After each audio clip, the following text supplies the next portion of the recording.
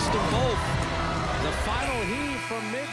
The Super Eagles of Nigeria in action later today by 8 p.m. Same time, Egypt. I will see in action taking on Sudan, and it's a battle for uh, top sports right here in this last group game. We're taking Guinea-Bissau, mm. lots of changes expected. Yesterday we had likes of Peter Olayinka, Alexander Iwobi, likes of Chidera Ejuke, uh, Kelechi Nwakali at the base, uh, likes of Jamilu Collins expected to get in, Tyronne Ebuehi even in between the sticks. We're expecting, uh, you know, Francis Uzoho uh, to get in and, get some running here. But irrespective of the changes, you see the Super Eagles of Nigeria in action, and you definitely want to go for three points Blyden. I agree with you. They need to go for the three point.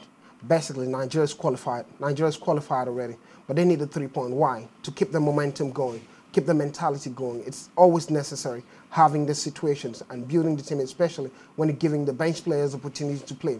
What it does for the team is uh, you never can tell. You get to see a player who you've not, who's quite talented, and the coach had not given opportunity playing in the first two games, and he plays quite well. You, you might pick the player to play in the next round, and he might be a savior for you in the next round. But right now, Nigeria are in a good position. I think the quest in the group is quite open to anybody. We're looking at Egypt with three points, um, Sudan one point, and Guinea one point. If, if Guinea gets to win today, they have four points and probably qualify. Sudan gets to beat Egypt today. Egypt sent out of the competition, and Sudan qualifies with four points. Um, the good thing about, or the interesting thing about uh, the CAF competition now is you consider head-to-head -head first. So it doesn't matter what the scoreline would be.